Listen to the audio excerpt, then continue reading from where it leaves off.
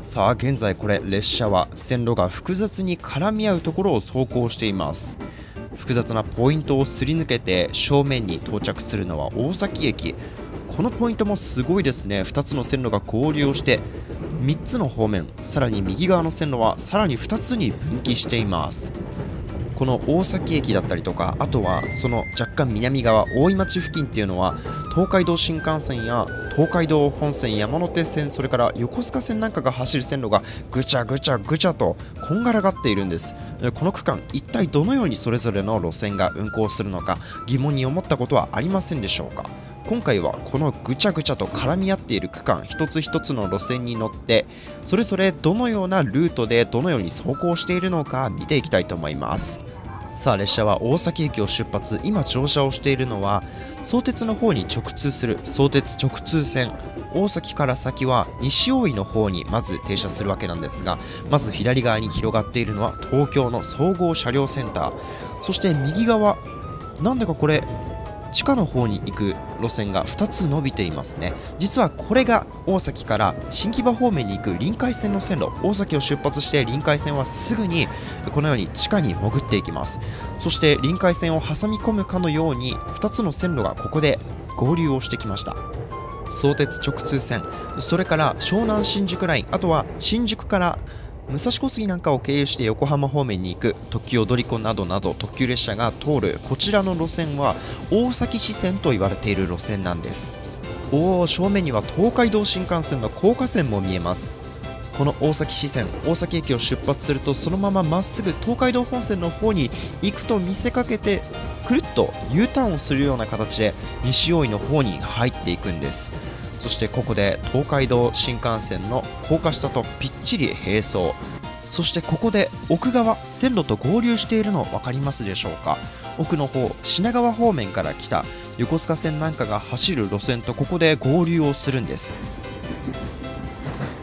ちょうどこの辺りで品川方面から来る横須賀線なんかが走る線路と合流をするわけなんですがこの付近が蛇久保信号所とかつて言われていた場所。かつて信号場として機能していた場所でここまでが大崎支線ということになります。ちなみに大崎支線は大崎の方から続いているわけなんですがその支線全体がなんとね大崎駅の構内として扱われているんです。なのでこの支線に正式な名称例えば東海道本線の支線ですとかそういった正式な名称は割り振られていないみたいなんです。そんな謎大き大崎支線を通ってまずはここ西大井駅に到着。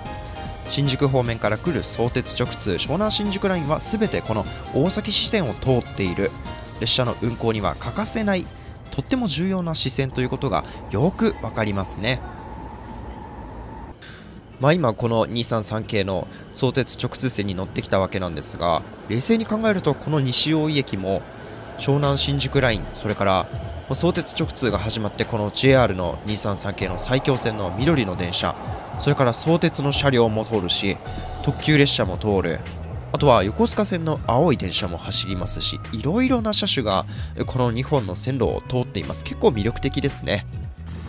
いろいろな鉄道動画が投稿される中で西大井駅ってのはあんまり取り上げられないような気もしますね。せっかくなので駅の外を降りてきましたけど僕もこれ初めて西大井駅は下車しました。こんな感じの駅舎になっているんですね。あんまり特徴はないとか言ったら失礼になっちゃいますがえこれ横須賀線相鉄線直通埼京線直通湘南新宿ライン実にたくさんの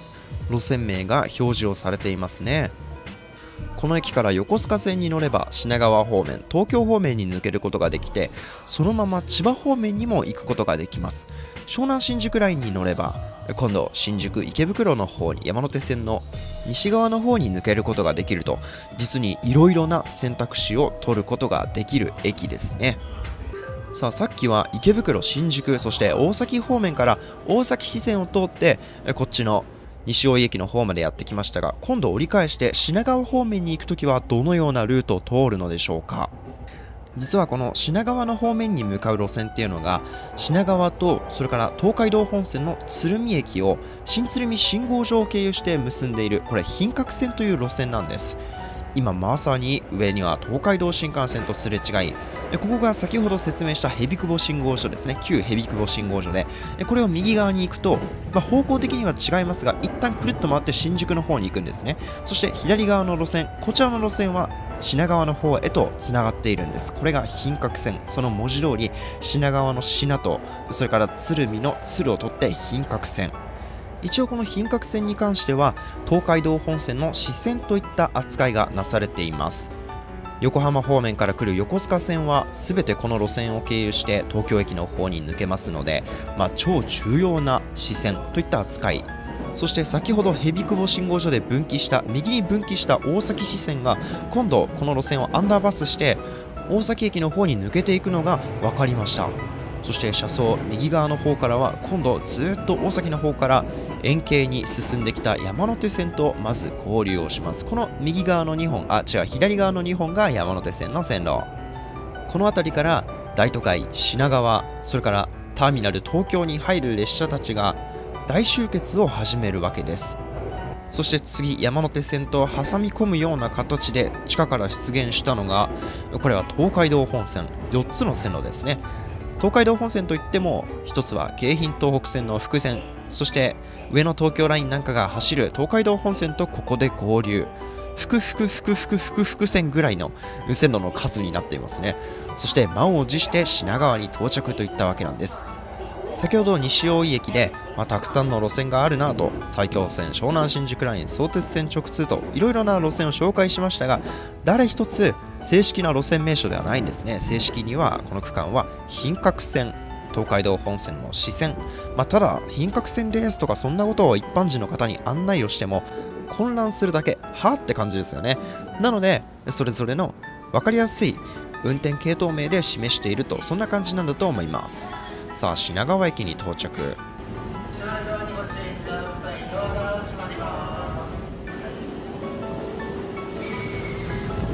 新型車両が出てもまだまだ旧型車両として頑張っていますよ。ドアのチャイムの音もなんだかしなびたようなしおれたような音がしましたがここから東京方面横須賀線は地下の方に入っていきます。さあ今度は品川から山手線に乗車。大崎。先ほど一番最初に出発をしてきた大崎の方まではどのように進むのかを見ていきましょ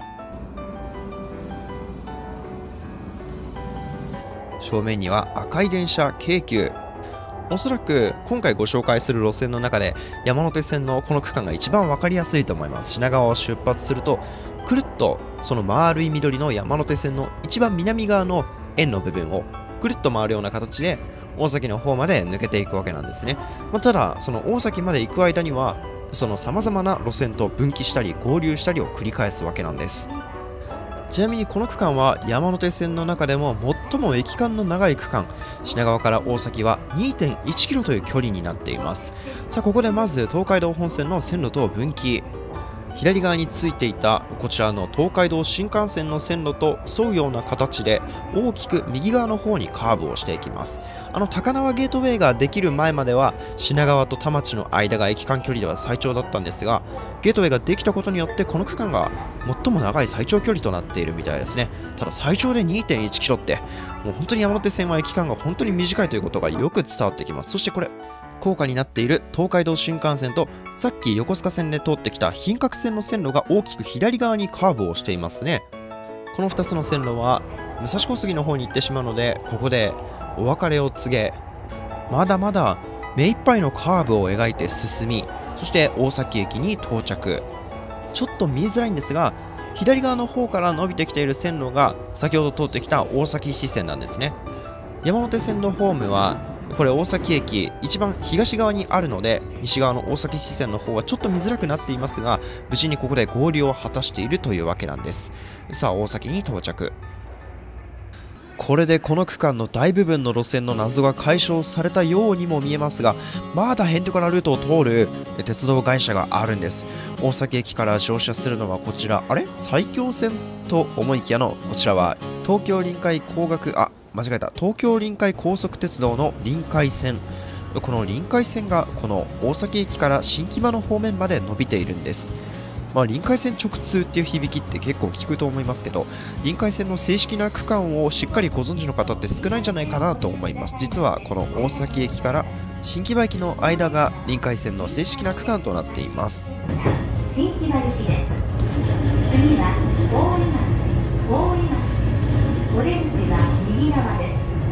複雑にこんがらがるポイントを網だくじのように進んでいきます。あれでもなんかこれ既視感がありますね。左側には東京総合車両センター。そうこれ一番動画の冒頭で大崎支線の時に映した映像。まさに大崎支線がこの臨海線の真ん中の線路より外側のところ左側のところを通っていましたが今度臨海線の方はここから大崎支線に挟まれる形で東京総合車両センターの真横を縫うようにして地下区間の方に入っていくんです。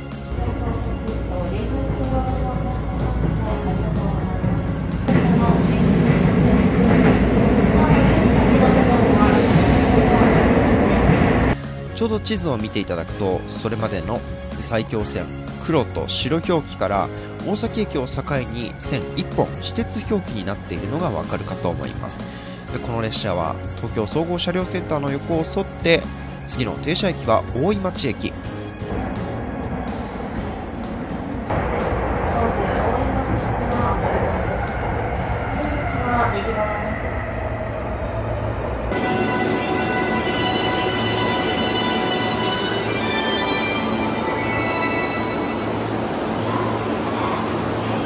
2011年に公開されたあの有名な映画ガンツの地下鉄シーンのロケでもこの駅は使用されているみたい。そして JR 中央口改札階と臨海線の改札口までのエスカレーターの長さはなんと44メートル。臨海線は東京テレポートの辺り海底のトンネルを通る関係で駅もそれはそれは深く設置されているといったわけなんです。もちろんね JR とは別の他社線なので運賃は若干高くついてしまいます。京浜東北線に乗り換えるにはまあ、かなりのエスカレーターを上り下りする必要があってこれは結構ね乗り換え時間は5分ぐらいは見た方がいいんじゃないかなと体感的にそんな感じがしました。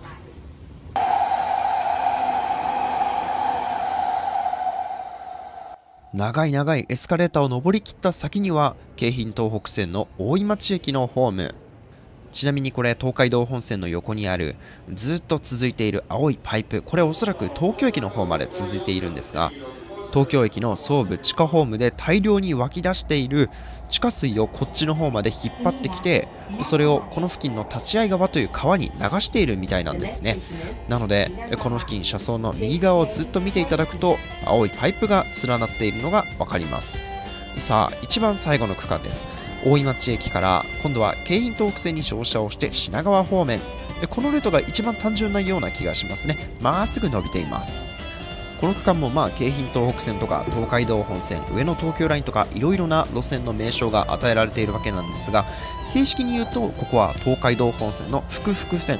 この京浜東北線も正式には東京駅までは東海道本線。そして東京駅から大宮駅までの間は東北本線の一部ということに正式にはなっていますのでここも東海道本線の複々線。そして何やら頭上には何かの路線がオーバークロス。これ先ほど乗車をしてきた東海道新幹線と品格線の線路ですね。ここでオーバークロス右側に線路が来てそして車窓の左側の方には山手線がついています。まさに先ほど列車から見下ろしていた景色。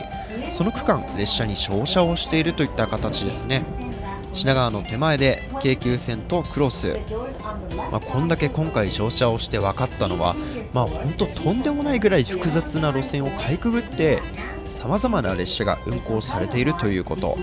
この区間例えば品川から横浜に行くにしても寝ていたらどのルートを通っているのかとは分かりませんが実際蓋を開けてみてしっかりと観察をしてみると全く別のルートを通っている。そういった複雑さもまた鉄道の魅力醍醐味の一つだとまた改めて実感することになりました。というわけで今回はこの品川周辺の複雑な区間路線に乗車をしてみました。今回もありがとうございました。